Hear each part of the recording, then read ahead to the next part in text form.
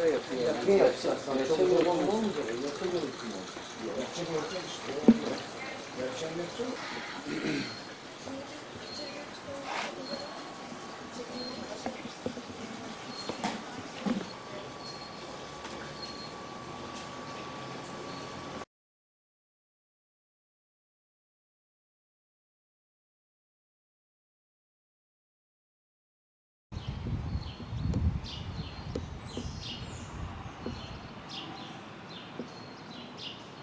Hem fotoğraf çektireceğiz hem de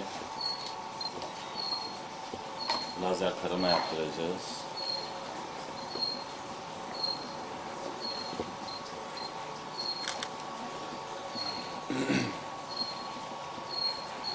lazer kendi etrafında çok hızlı bir şekilde dönmeye başladı.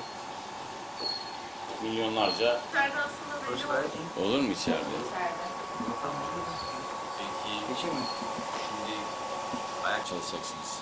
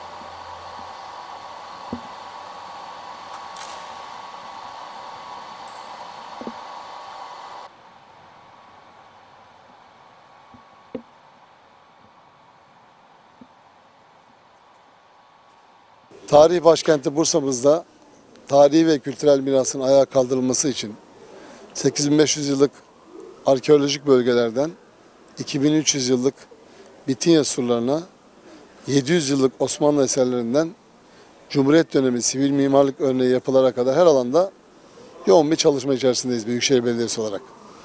Bir taraftan bu eserleri restore edip ayağa kaldırırken diğer taraftan da bu eserlerin aslına uygun bir şekilde yaşatılması noktasında gayretlerimiz var. Özellikle Paris'teki Notre Dame Katedrali'nde çıkan yangın, bu eserlerin yeniden inşasının aslına uygulup yapılıp yapılamayacağını da gündeme getirdi. Bursa'mızda tarihte büyük deprem ve yangınlara sahne oldu. Özellikle 1855 depreminde Bursa neredeyse yerle bir oldu. Birçok tarihi eser ya tahrip oldu ya da tamamen yıkılıp gitti.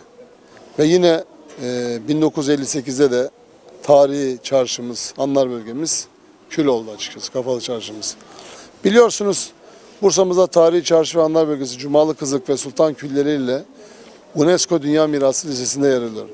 Artık tüm insanlığın evrensel değeri haline gelen eserlerimizde bu tür felaketlere karşı tedbir alırken Diğer taraftan da önüne geçemediğimiz bir felaket sonrası zarar gören tarihi eserlerimizin birebir aynısı inşa edilmek için de gerekli ön çalışmalar yapıyoruz. Bu kapsamda Harita Şube Müdürlüğümüzce 2015 yılında Türkiye'deki belediyelerde bir ilk olarak eee yersel lazer tarama cihazıyla ölçümlere başlanmıştı. Saniyede 50 bin nokta ölçebilen lazer ölçüm cihazıyla yapılan 3 boyutlu modeli çıkarılırken olası bir felaketin ardından bu eserlerin birebir aynısının yapılması da mümkün olacak. Tabi gönül ister ki bu felaketler kesinlikle olmasın, yaşanmasın ve bu eserlerimiz hep ayakta kalsın. Ancak belediye olarak da her türlü ihtimali göz önüne aldığımızı ifade etmek istiyorum. Bugüne kadar 40'ın üzerinde eserimizin birebir modellemesi yapıldı. Hedefimiz kentimizdeki gerek tarihi gerek mimari diye olan tüm eserlerle alakalı bunları modellemek. Ben bu noktada emeği ve katkısı olan herkese teşekkür ediyorum. Bu çalışmanın bütün Türkiye'ye örnek olmasını arzu ediyorum.